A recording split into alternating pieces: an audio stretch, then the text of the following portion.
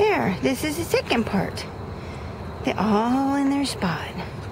They know where they go. There's Bo and Daisy down there on the end.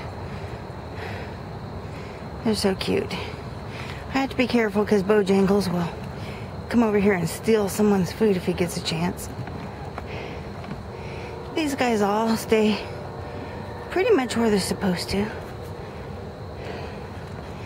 Yeah. Good girl.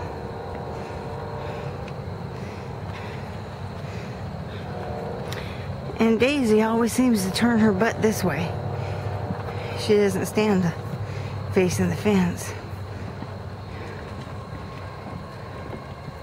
All right, I'm gonna get. Are, I call these the Bobbsey twins.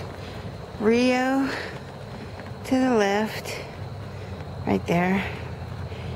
Annie, Rio, Doll, Bojangles, and Daisy.